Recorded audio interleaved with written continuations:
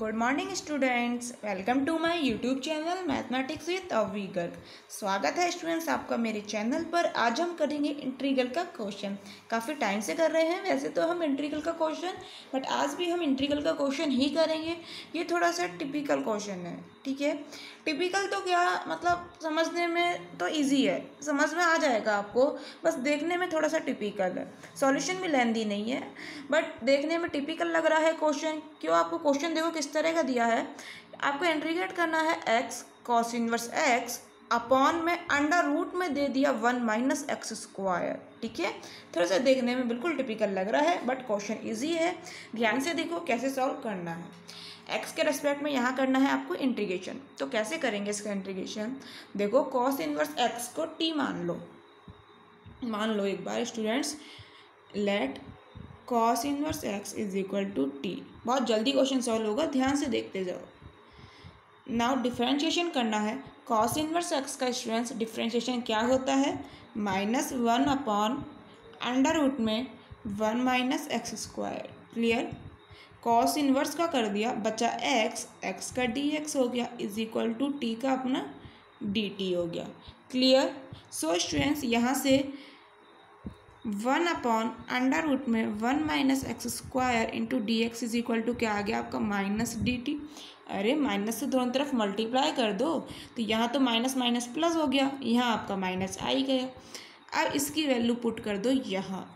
इसको आप क्या लिख सकते हो? Integration of x cos inverse x. D x upon में ये वाला टर्म लिख रही हूँ, ठीक है? अपॉन में तो है नहीं वाला टर्म। डी एक्स के नीचे लिख दो, क्या फ़र्क पड़ रहा है?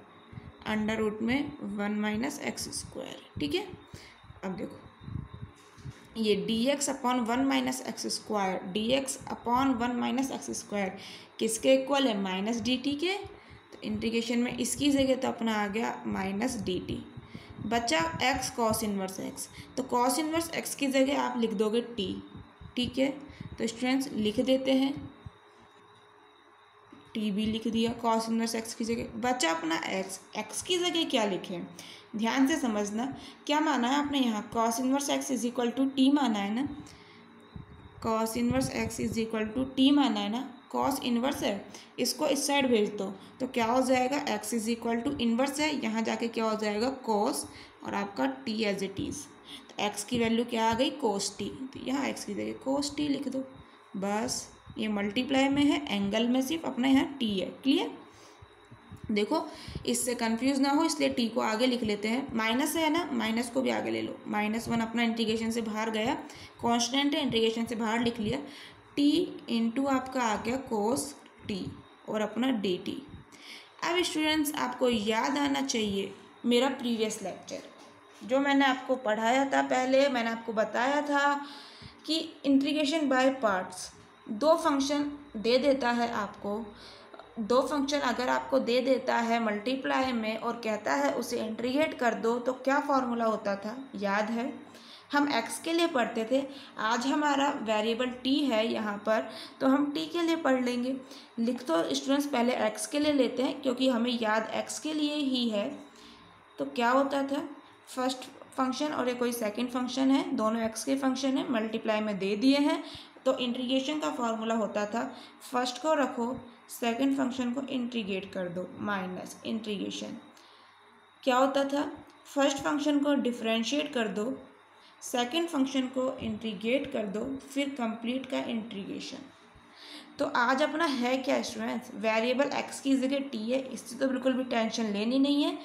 तो अपना यहाँ टी है ना तो यहाँ टी यहाँ टी यहाँ टी यहाँ टी कंप्लीट में अपन कुल मिला के एक्स की जगह टी यूज़ करने वाले हैं। बात यहाँ जो इम्पोर्टेंट है, वो है कि किस फ़ंक्शन को तो फ़र्स्ट माने और किस फ़ंक्शन को सेकंड माने। ऐसे ही क्या हम अपनी मर्ज़ी से इसे फ़र्स्ट या फिर इसे फ़र्स्ट फ़ंक्शन मान सकते हैं? जैसे फिर सेकंड फ़ंक्शन इसको माने या इसको माने, कैसे डिसाइड करें कि अपनी मर्ज़ी से मान सकते हैं? स्टूडेंट्स अपनी मर्ज़ी से नहीं मान सकते। कुछ ना कुछ तो है। उसकी वजह से हम नहीं मान सकते। वो है क्या? क्या कारण है कि हम ऐसा नहीं कर सकते कि किसी को भी अपनी मर्ज़ी से फ़र्स्ट या सेकंड फ़ंक्शन क्यों नहीं मान सकते? तो उसका कारण आपको मिल जाएगा मेरे प्रीवियस लेक्चर में। लिंक आपको उस लेक्चर का, इस लेक्चर के डिस्क्रिप्शन बॉक्स में मिलने वाला है। उस लेक्चर का जो लिंक है, इस वीडियो के डिस्क्रिप्शन बॉक्स में आपको मिल जाएगा। वहाँ से समझ लेना कारण, ठीक है? कारण तो वहाँ से समझ लोगे बट आज हमने डिसाइड भी तो करना है।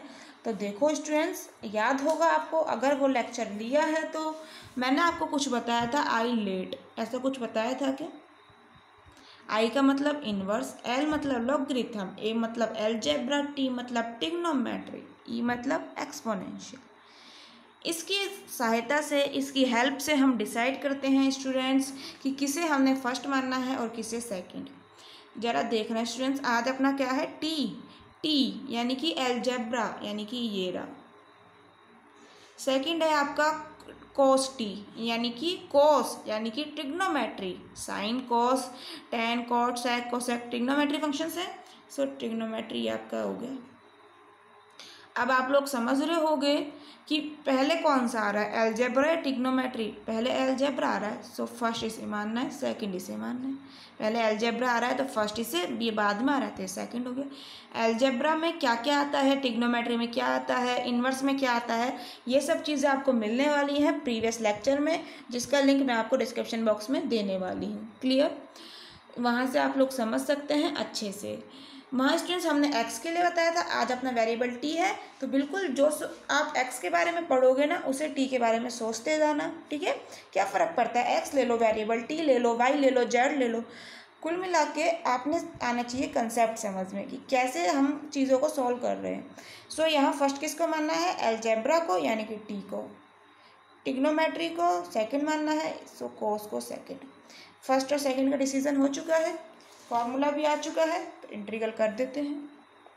माइनस वन तो आपको बाहर चल ही रहा है। अब लगा लीजिए ब्रैकेट। अब देखो इसका इंट्रीगेशन फ़र्स्ट फ़ंक्शन को रखो, यानी कि टी को रखो। सेकंड फ़ंक्शन को इंट्रीगेट यानी कि कोस टी का इंट्रीगेशन ठीक है? टी एक्स की जगह हमें टी यूज़ करना है, ठीक है?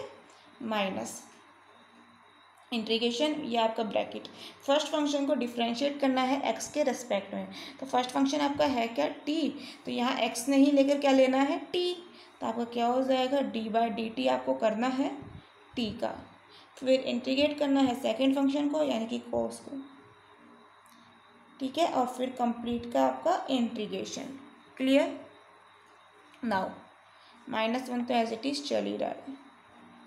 टी एज इट इज़ अब आता है अपना कोस टी का इंट्रीगेशन क्या याद है आप लोगों को? फॉर्मूला मैंने आपको पहले ही बता दिया था। कोस टी का इंट्रीगेशन क्या होता था स्टूडेंट्स साइन टी याद होगा आप लोगों को स्टूडेंट्स नहीं है तो प्लीज़ पहले फार्मूलाज याद कर लीजिए। मेरे इंट्रीगल की प्लेलिस्ट में आपको सारे फार्मूलाज मिलने वाले हैं, वहाँ से याद कर सकते हो, ठीक है? कॉस टी का क्या हो गया अपना? Sine t minus integral t का डिफ्रेंशिएशन क्या हो चुका है स्टूडेंट्स टी के रेस्पेक्ट में वन कैसे होता है स्टूडेंट्स क्या याद है? मैंने आपको बताया हुआ है। एक्स के लिए याद है स्टूडेंट्स मैंने आपको एक्स के लिए बताया था। देखो एक्स की पावर एन का तो हम सभी जानते हैं डिफ्रेंशिएशन फार्मूला एन एक्स की power n minus one but जब एन की जगह वन दे दे एक्स की पावर वन का पूछे तो कैसे करते थे? एन की जगह वन लिख के तो वन इंटू एक्स की power one minus one one minus one zero so x की पावर ज़ीरो की वैल्यू वन होती है सो वन इंटू वन क्या आ गया आपका? वन। यानी कि एक्स की पावर वन को एक्स के रेस्पेक्ट में डिफ्रेंशिएट करोगे तो वैल्यू वन आती है। यहाँ क्या है? टी की पावर वन को टी की पावर वन है स्टूडेंट्स कुछ नहीं लिखा होता अंडरस्टूड होती है पावर वन क्लियर टी की पावर वन को टी के रेस्पेक्ट में डिफ्रेंशिएट कर रहे हो। यहाँ और यहाँ कुछ फ़र्क दिख रहा है क्या? सिर्फ़ एक्स और टी का फ़र्क है और कोई फ़र्क नहीं है क्लियर तो जब एक्स के लिए समझ चुके हो तो क्या टी के लिए नहीं समझ पा रहे? एक्स की पावर वन का एक्स के रेस्पेक्ट में डिफ्रेंशिएशन क्या होता है? वन। इसका मतलब टी की पावर वन का टी के रेस्पेक्ट में डिफ्रेंशिएशन क्या होता है? वन। अगर यहाँ जेड दे दे तो कि जेड की पावर वन को आपने डिफ्रेंशिएट करना है, आपको दे दे डी बाई डी जेड और जेड की पावर वन। क्या होगी इसकी वैल्यू ऑब्वियसली वन होगी। जेड की पावर वन को हम जेड के रेस्पेक्ट में डिफ्रेंशिएट करते हैं तो वैल्यू वन आती है। ये हम पहले ही समझ चुके हैं एक्स की जब हमने पढ़ा था। अरे वेरिएबल तुम एक्स की जगह ये वाई दे दोगे जेड दे दोगे पी दे दोगे क्यू दे दोगे, कुछ भी दे दोगे तो वही ना वैल्यू चेंज हो जाएगी। वेरिएबल चेंज करने से, अरे वैल्यू तो सेम ही रहने वाली है। समझ आया? कैसे वैल्यू वन होती है? अरे, याद करने के लिए तो आप ऐसे भी कर सकते हो। ये है क्या? D x upon d x ही तो है। इस तरह से याद कर लो कि डी एक्स से डी एक्स कैंसिल हो चुका है वैल्यू वन आ गई। बट हकीकत में कैंसिल होता नहीं है। रियलिटी में कैंसिल होता नहीं है because d by d x तो एक डिफरेंशियल ऑपरेटर है, जो आपने इस वाले एक्स पे लगाया हुआ है।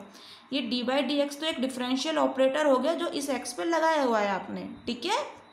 कुल मिला के ऐसा नहीं करते, कोई भी चीज़ ऐसे करती नहीं है। ये एक ऑपरेटर है, आप ऐसा नहीं काट सकते, ठीक है? बस याद तो हम कर सकते हैं इस तरह से। हमें पता तो है ही किस तरह से वैल्यू वन आती है, ठीक है? सो इसका अपना वैल्यू वन हो चुका है, कॉस्टी का इंट्रीगेशन अभी करा साइन टी और फिर आपको एक कंप्लीट वाला डी टी आपको कंप्लीट को इंट्रीगेट करना है। क्या आ चुका है? Minus one t sine t minus ठीक है, one into sine t sine t हो चुका है। तो साइन टी का इंट्रीगेशन क्या होता है स्टूडेंट्स याद है?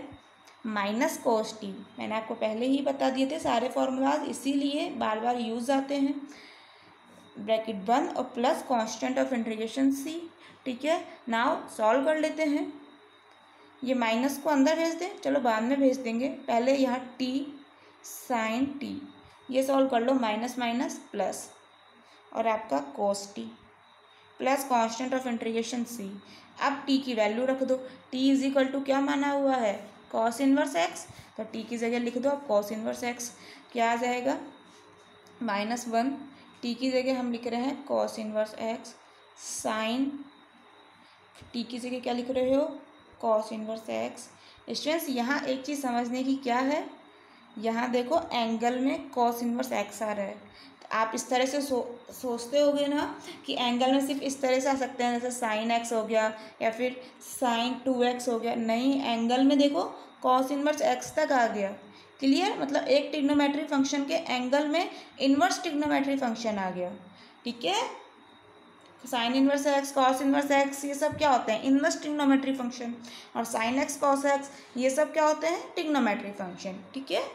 सो स्टूडेंट्स क्या आ चुका है अपना? प्लस कॉस टी की वैल्यू रख देनी है अपनी। क्या है? Cos inverse x cos inverse x ठीक है? ब्रैकेट बंद. प्लस कांस्टेंट ऑफ़ इंट्रीगेशन आपका सी। चाहो तो माइनस को अंदर भेज दो, दोनों तरफ़ माइनस आ जाएगा, यहाँ भी माइनस आ जाएगा, यहाँ भी माइनस आ जाएगा। चाहो ऐसे ही रहने दो, कुछ भी कर सकते हो, ठीक है? लिख लो, चाहो तो क्या आ जाएगा, minus cos inverse x, sine cos inverse x, और यहाँ भी क्या हो चुका है, प्लस माइनस माइनस क्या आ जाना है आपका, कॉस ब्रैकेट में cos inverse x plus constant of integration C ये आ चुका है आपका आंसर ठीक है?